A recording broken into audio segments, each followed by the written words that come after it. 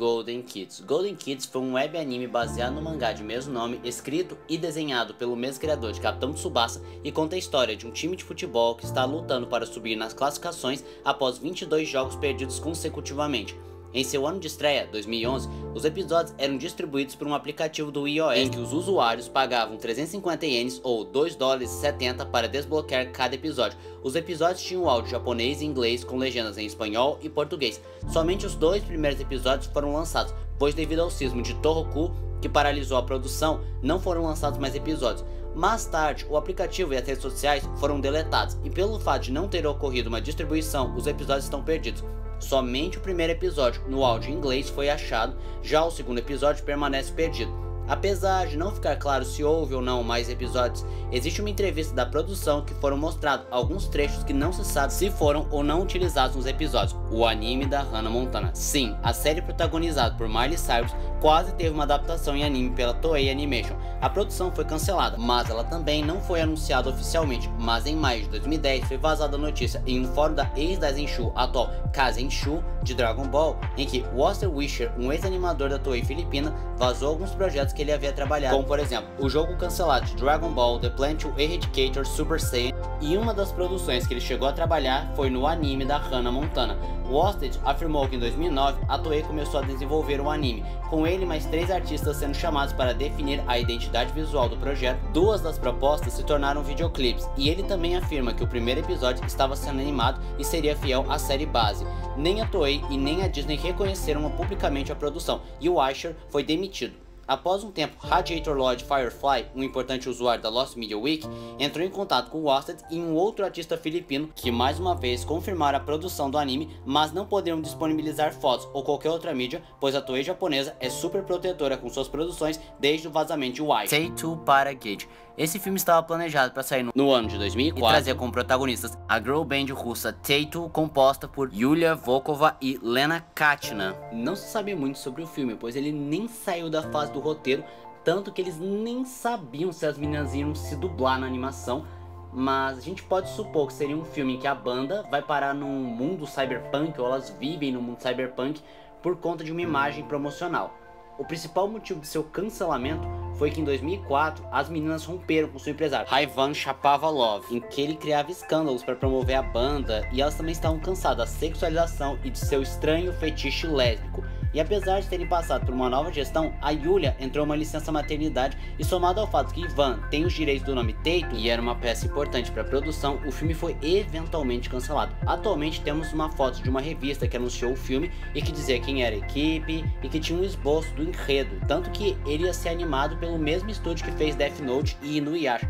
Também tínhamos duas imagens promocionais, uma ilustração de um dos cenários que é belíssimo, diga-se passagem, e um disco de vinil personalizado com a imagem do filme que remixava a música All the Things She Say, que foi o maior sucesso da banda. Doraemon 73. Doraemon é um popular anime baseado no mangá Fujiko F. Fujio, que fez bastante sucesso no Japão, tanto que ele se tornou um dos ícones e a cara dos animes e do próprio país. Sua adaptação mais conhecida é a de 1979, que foi até 2005 e que posteriormente passou por um remake que continua até hoje.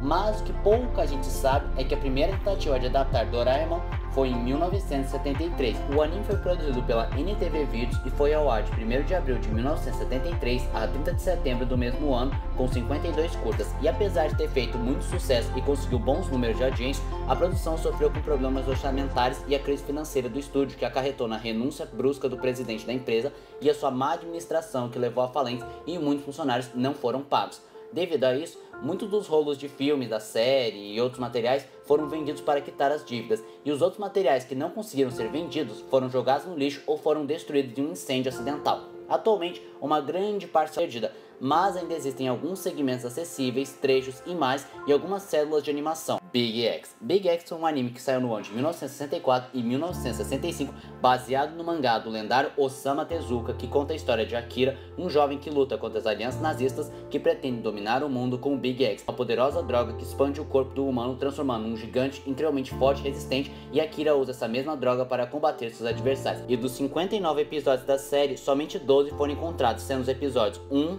11, 11, 40 a 59. No entanto, existe uma esperança de que os episódios 5 e 30 tenham sido gravados quando ele foi reexibido no ano de 1990. Bubblegum Crisis Tóquio 2041 Após o sucesso de Bubblegum Crisis Tóquio 2040, uma adaptação livre de Bubblegum Crisis, a extinta DV Filmes planejava fazer uma sequência da série chamada Bubblegum Crisis Tóquio 2041 e em 2002 uma prévia foi comercializada para investidores na MIPCOP de 2002. Depois disso, a produção entrou em hiato e somente em 2007 tivemos notícias em que Matt Greenfield, cofundador da ADV, afirmou que a produção foi suspensa no intuito de que os principais membros de Tóquio 2040 reprisassem seus papéis e pelo choque de agenda o projeto foi atrasado.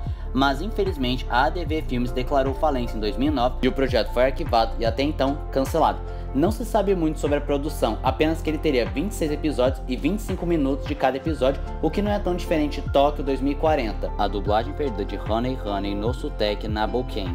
Honey Honey no Sutek Noboken, ou simplesmente Honey Honey, ou melhor, Favos de Mel, como ficou conhecido aqui no Brasil, foi um anime shoujo com 29 episódios lançado no ano de 1981 no Japão, mas que chegou em terras tupiniquins entre 1987 e 1989, exibido pelo SBT. O anime se passa em Viena de 1907, em que no aniversário da princesa Flora, vários nobres, líderes e pessoas de renome cortejam a princesa e desejam sua mão, mas o belo ladrão Félix planeja roubar o anel da princesa, o inestimável sorriso do Amazonas e ele fere o orgulho da princesa dizendo que a sua beleza é apenas um reflexo do anel. Ultrajada com tal comentário, a princesa esconde a joia em um peixe e o joga pela janela, chocando todos da festa, e a princesa afirma que se casará com aquele que lhe devolver o anel. Mas as coisas se complicam quando a jovem órfã Honey Honey, ou Favo de Mel, como foi traduzido aqui no Brasil, se torna alvo dos pretendentes e do ladrão Félix após sua gatinha Lili comer o bendito peixe, e agora ela deve fugir para preservar a sua vida e a da sua gatinha. Infelizmente, a dublagem brasileira de Honey Honey está completamente perdida.